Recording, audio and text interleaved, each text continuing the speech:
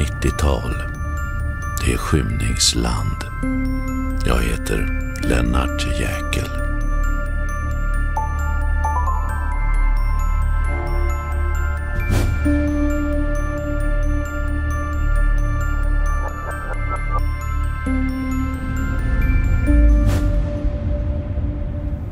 De hade hittat lägenheten på annons i en Berlin-tidning.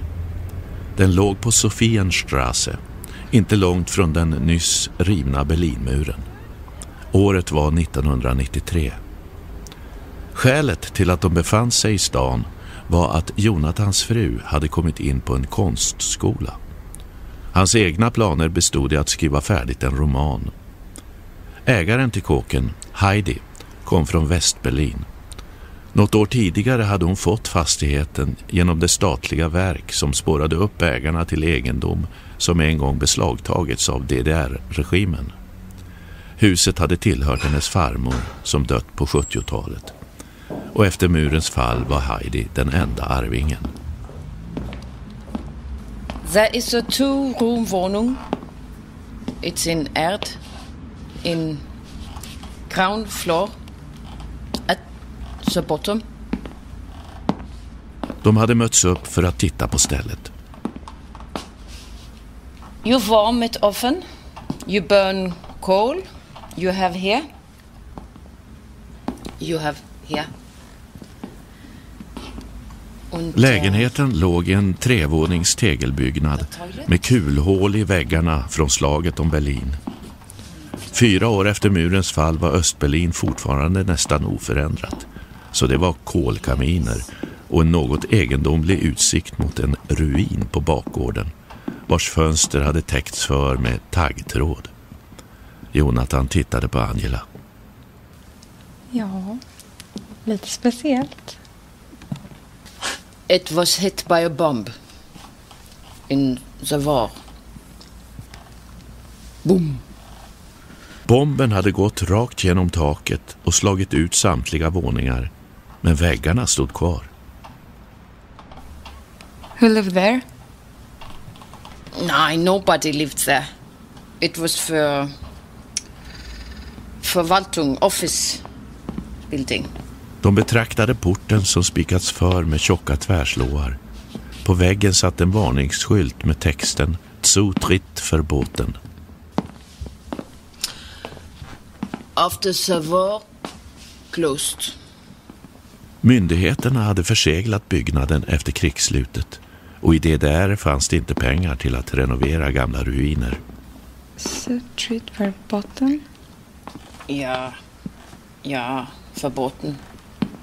There could be old bomben in there. You never know.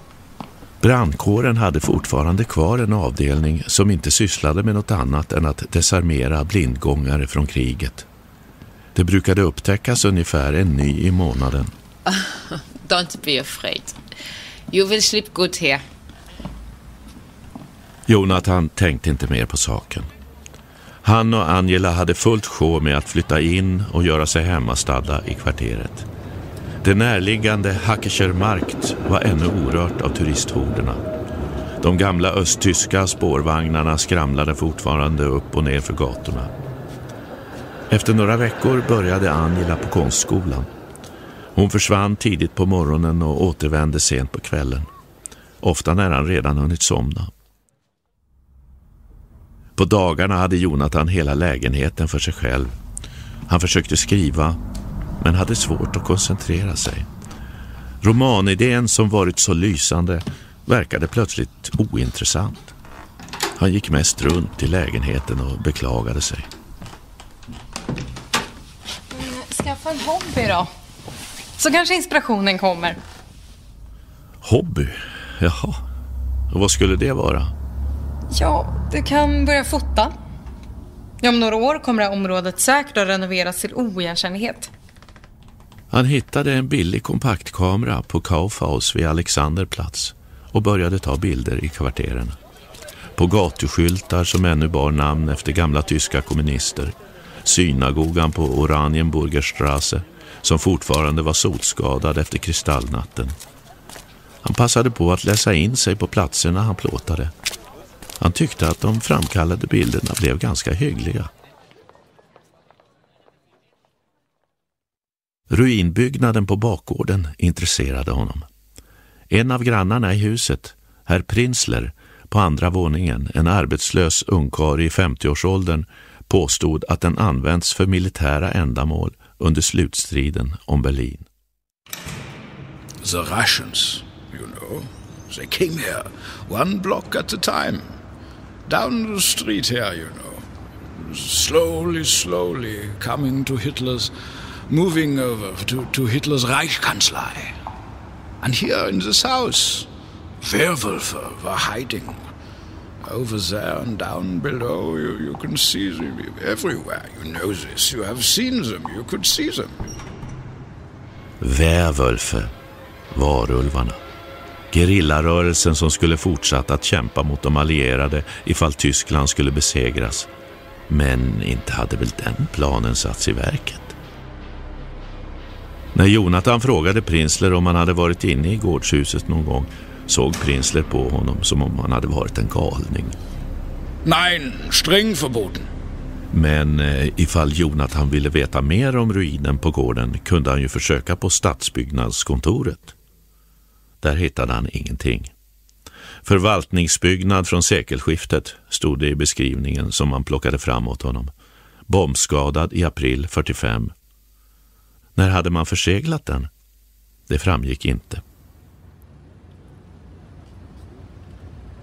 En förmiddag bestämde han sig. Han skulle försöka ta sig in i ruinen på bakgården. Han hade tagit foton av den på utsidan och tänkte att det skulle vara spännande att plåta interiören också. Inte kunde det väl finnas blindgångare bland bråten. Innan huset förseglades måste det ju ha genomsökts noga. I källaren under lägenheten hittade han en stege. Han höll sig på baksidan av ruinen där grannarna inte kunde se honom, klättrade upp och klippte sig igenom taggtråden med en avbitartång. 20 minuter senare var han inne. Huset var som en kuliss. Det låg bråte överallt, gammalt tegel och förstörda bjälklag, rester av taket som fallit ner 50 år tidigare och rakt upp syntes ett utsnitt av den klarblå Berlinhimlen. Han tog en halv rulle foton och hade precis bestämt sig för att gå när han upptäckte golvluckan. En stor plåtlucka med gångjärn. Han fick gräva bort ett djupt lager bråte innan han kunde öppna den. En trappa ledde ner till ett källarrum. Utrymmet var ungefär 15 kvadratmeter stort. Han lyste med ficklampa. Täckt av ett lager damm kunde han urskilja spakar, tryckmätare och smala mässingsrör som ledde ner under golvet. En gammal rörpostcentral. På väggen en instruktionstavla i gammal tysk frakturstil. Lauf-Rohr D myndet in die Kammer. Rör D gick till något som hette kammaren. Tryckspak C skapade vakuum. Med manometer M kontrollerades lufttrycket. Förutom dammet och spindelväven verkade hela stället orört, liksom fastfruset i tiden. I röret för inkommande post låg en metallhylsa. Han torkade bort dammet och skruvade av locket. Inuti fanns ett hoprullat papper där någon för länge sedan skrivit med bleknad blyerts. Mon Bichou-brücke um eins Uhr. Dringend. Mon Bichou-bron klockan ett. Brådskande. Pappret pryddes av ett brevhuvud med en svastika. Det var som en tidsmaskin. På ett lågt bord stod en uråldrig skrivmaskin av märket Olympia. Bredvid låg ett gammalt exemplar av Völkischer Beobachter, nazistpartiets tidning med bilder på heroiskt kämpande barnsoldater ur den så kallade Folksturm. Utgivningsdatumet var den 28 april 1945. Hade ingen varit här sedan dess? Och var meddelandet alltså det sista som skickats till anläggningen? ett halvsekel tidigare. Plötsligt rasslade det till. En ny post hade anlänt. Han öppnade hylsan och läste. Bitte om snälla Rückmeldung. Svara snabbt, tack. Vad var det som hände? Han tog fram en penna ur fickan och skrev på papprets baksida. Wer sind Sie? Vem är ni? Han la pappret i hylsan, tittade på bruksanvisningen tills han listat ut vilken spak som gällde. Han stod kvar, bara stod där, medan sekunderna tickade iväg.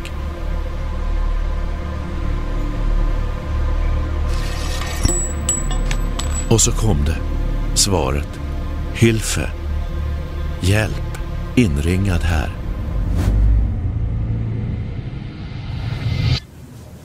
På andra sidan Palast der Republik låg Östberlins gamla stadsbibliotek. Han beställde fram böcker om Berlins gamla rörpostsystem.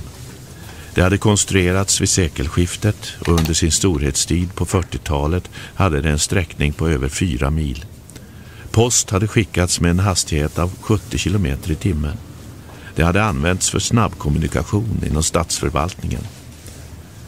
Efter kriget hade nätet delats i en östlig och västlig del, precis som staden, innan det slutligen stängts ner i mitten av 70-talet. Det fanns kartor över sträckningen, men bara de stora knutpunkterna var markerade, inte de mindre anläggningarna. Det fanns ingen markering vid fastigheten på Sofienstrasse.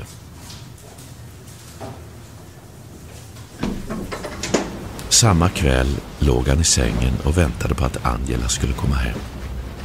Rörpostsystemet var uppenbarligen inte längre i bruk. Men ändå hade någon skickat ett meddelande till ruinen på bakgården. Var det ett practical joke? frågade han sig. I handen höll han den sista handskrivna lappen. Gulnad, gammal, med en svastika i brevhuvudet. Angela dröjde. Hon hade väl gått ut med sina nya vänner på konstskolan. Mötesplats vid Monbijoubron klockan ett på natten.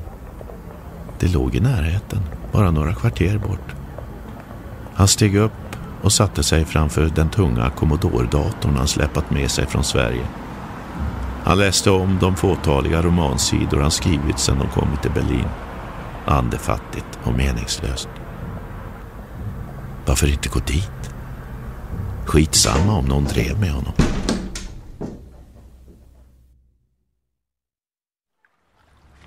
Kvarteret var nedsläckt. Han stod på bron, som en agent i en John le Carré-roman, tänkte han. Tände en cigarett. Till höger låg Monbijoux-parken med sitt gamla pariserhjul från DDR-tiden. Inga människor i omlopp. Tystnad, förutom prassel från råttor i buskarna. Vad gjorde han där egentligen? Han slängde cigaretten i floden, satte sig på en parkbänk. Bänken var underligt varm, som om någon nyss hade suttit där.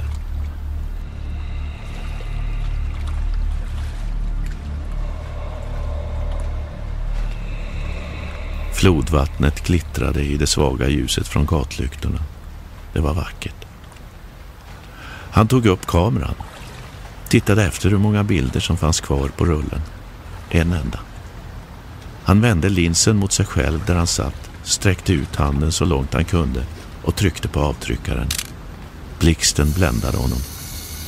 Den automatiska veven spolade tillbaka filmrullen. När han vaknade nästa morgon hade Angela gått. På köksbordet låg en lapp. Se som en vecka. Lycka till med skrivandet. Han hade glömt bort att hon skulle till Sverige och hälsa på sin syster. Han gick till Alexanderplats och handlade, irriterad över att han inte hunnit berätta för henne om vad som hade hänt natten innan. Han passade på att köpa en ny filmrulle och lämna in den gamla för framkallning. Det kostade bara ett par mark mer för snabbframkallning. Då skulle han få bilderna redan till kvällen. Han bestämde sig för att gå till Prinsler och visa honom lappen. You should take this to the police. Det var tydligen straffbart att inneha föremål med nazistsymboler. Men Man kunde ju också sälja det dyrt till en samlare. This is a real document from the Hitler side. Some sort of military mail. Listen, I could give you 100 marks for it. Where did you where did you get it?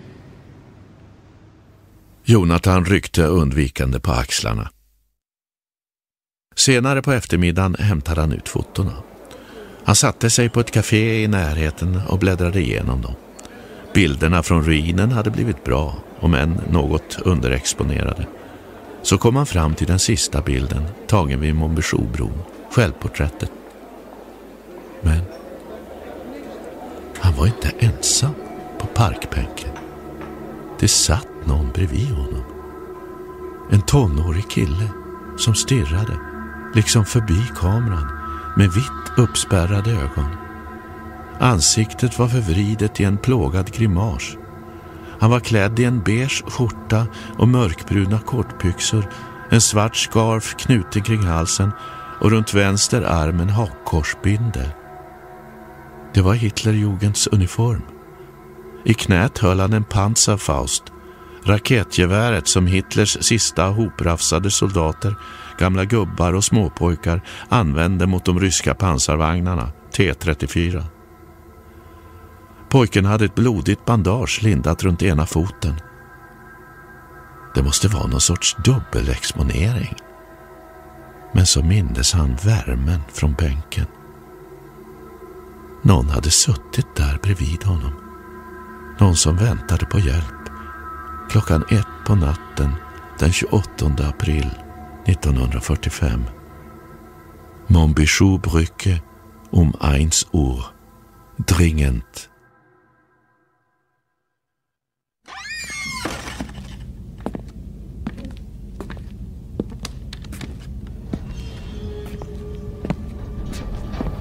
Angela ligger i sängen med lampan tänd, vettskrämd. Hon pekar mot golvet under sig.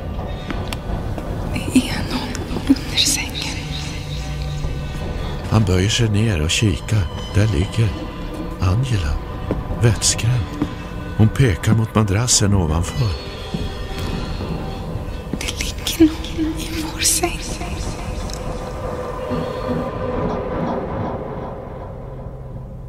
Han vaknade med ett ryck. Han gick upp och drack ett glas vatten i köket. Kikade ut på bakgården mot ruinen. Ett svagt ljus syntes där inifrån. Stegen stod kvar på baksidan. Han klättrade upp och tog sig in genom fönstret. Luckan till källarrummet stod på vid gavel. Då hörde han. Var det röster där nerifrån? Han tvekade vid trappan. Det var ljus där nere. Rösterna hördes tydligare nu. Ett samtal av något slag. Han började gå ner. Det var som en film som plötsligt framkallades framför hans ögon. Han befann sig i rummet med rörposten fast 50 år tidigare. Det var full aktivitet. Barnsoldater hade sökt skydd. En av dem liknade pojken på fotografiet fast han var äldre, kraftigare. I ett hörn satt en gråtande granatchockad pojke. De andra pojkarna drog i honom, försökte få honom att resa sig upp och fortsätta kampen. Nu hörde Jonathan det oerhörda larmet från gatan utanför. Katjusha-raketer som slog ner i grannbyggnaderna. Smattrandet från maskingevär. Mullret från de ryska pansarvagnarna. Och så plötsligt. Bilderna var borta. Rummet tomt. Han gick bort till rörposten. Ett nytt meddelande. Samma tid i natt. Måste omgruppera. Han vände på det och skickade ett meddelande tillbaka. Berätta vem ni är först. Han väntade. Så kom svaret. Vem tror du? Peter Schwarz. Han ringde Angela från en mynttelefon följande morgon. Hon befann sig hemma hos sin syster. Hon hade nyligen köpt en tvåa i Vasastan för den hisnande summan 550 000 kronor. Han frågade om hon märkt något konstigt med ruinen på bakgården. Hur så? Ja, hade hon sett eller hört något? Ljus, röster? Röster? Snälla Jonathan, vad, vad menar du? Han hade tagit ett foto på en Hitlerjugendgrabb. Va? Eller vad menar du? Nu, nu förstår jag inte.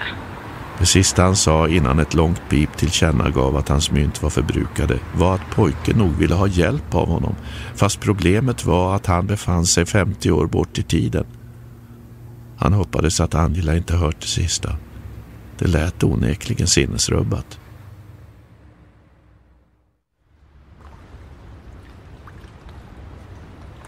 Så satt han igen och väntade vid Monbesjobron mitt i natten. Han tittade på bilden. Peter Schwarz hette han alltså. Och vad kunde han vara? Högst 15 år gammal. Han var sårad. Han befann sig i kvarteret och behövde hjälp. Men med vad då? Att ta sig ut ur det brinnande Berlin? Var det det han menade med omgruppera? Pojken skickade rörpostbrev till någon som han trodde kunde hjälpa honom. Någon han kände som befann sig i rörpostkontoret på bakgården. Någon av personerna där nere. Pojken som liknade honom. Var det en släkting, en kusin eller äldre bror?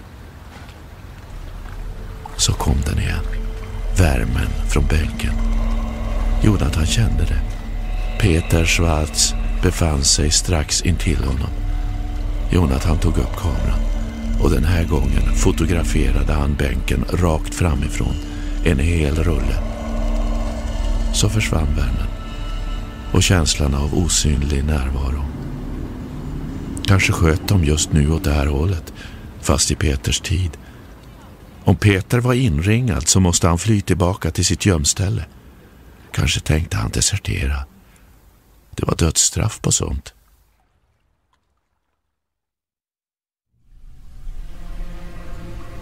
Den natten skrev Jonathan ett långt brev till Peter på knagglig tyska. Förklarade vem han var och vilken tid han skrev ifrån. Berättade att han bodde på Sofienstrasse i huset framför det gamla rörpostkontoret. Han citerade ur en bok om slaget om Berlin. I boken finns det beskrivet vilka tunnelbanelinjer som ännu inte låg under vatten eller kontrollerades av Röda armén i slutet av april 1945. Så vitt Jonathan kunde se fanns det en möjlig utväg för Peter. Från en tunnelbanestation i närheten av Monbesjobron skulle Peter kunna gå i tunnlarna ända upp till Gesundbrunnen i norr. Och med lite tur skulle han kunna göra en utbrytning därifrån och sätta sig i säkerhet. Jonathan önskade Peter lycka till och rullade ihop det första fotot han tagit på honom där de satt tillsammans på bänken vid Spree och la in det i cylindern. Svaret kom omedelbart. Förräter. Förrädare. Han snabbframkallade filmen nästa dag och satte sig på samma café som förra gången och öppnade kuvertet. Bilderna var svarta. Han tog fram negativen som låg i en ficka i kuvertet. Samma sak där blanka.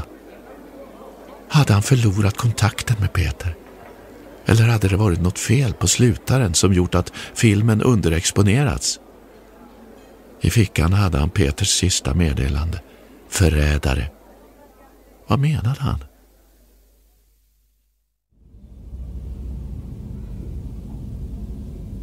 Två nätter senare, dagen innan Angela skulle komma hem, vaknade han. Var det någon i sovrummet? Han frågade ut i luften, men inget svar naturligtvis. Han gick upp, åt ett äpple, kikade ut genom köksfönstret mot ruinen. Bara mörker där ute. Han gick bort till rummet han använde som kontor, slog på datorn, ögnade igenom första sidan i romanen. Totalt värdelös. På väg tillbaka till sovrummet stannade han till mitt i steget. En plötslig värme uppstod helt nära honom. Han hann knappt reagera innan han kände greppet runt halsen. Någon befann sig bakom honom. Någon som försökte strypa honom, men som inte gick att se. Han var gömd i tiden. Jonathan slog vilt omkring sig, men träffade bara tomma luften. Greppet hårdnade. Han försökte få luft. Han kände hur syret sakta försvann. Och så plötsligt var greppet borta. Hostande tog han kameran som låg på nattduksbordet och fotograferade vilt omkring sig. Kanske tio bilder innan han märkte att värmen i rummet var försvunnen. Några veckor senare fick de erbjudande om en större lägenhet i Prenzlauerberg. Angela ville ha den så hon skulle kunna ha sin ateljé hemma. Han protesterade inte. Han återvände aldrig till ruinen på Sofienstrasse under tiden och han berättade aldrig för Angela vad som hade hänt. Han behöll ett foto från den sista filmrullen han framkallade. Det var taget inne i sovrummet den natten när han nästan blev strypt. Peter Schwarz står kanske en meter ifrån honom, klädd i sin Hitlerjugenduniform. Blicken är fylld av hat. Han tittar rakt in i kameran. Han var ingen desertör. Han ville inte ha hjälp att ta sig ut ur Berlin. Tvärtom. Han var en av dessa Werwölfe fanatiska tyska barnsoldater som var beredda att kämpa vidare för rasidén även om deras ledare dog. Och Jonathan hade varit en förrädare som försökt få honom att ge upp. Först 15 år senare återvände han till adressen. Hela fastigheten hade renoverats och det som en gång hade varit en ruin på bakgården hade förvandlats till ett lyxigt penthouse med takterrass. Han tänkte ringa på och fråga om de hade upplevt något konstigt i huset och hur det var med källaren. Fanns det spår kvar av den gamla rörpostcentralen? Han höll fingret på ringklockan men i sista sekunden svek modet. När han satt på station Weinmeisterstrasse och väntade på tunnelbanan kände han det. Närvaron. Värmen från platsen bredvid honom på bänken.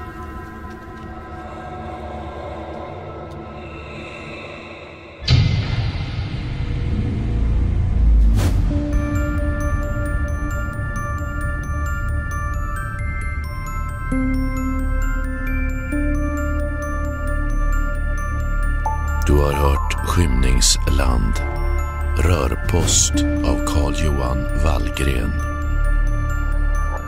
Jag heter Lennart Jäkel. Vi hörs. I rollerna Karin Littman, Johan Svensson och Elina Norén Sandberg. Ljud Mattias Miselli och Ludvig Jansson. Vignett och stämningsmusik Christer Linder dramaturg Magnus Lindman och regi Lars Vega. Produktion Drasen Kuljanin och Magnus Berg. Skymningsland är en produktion från Sveriges Radio Drama.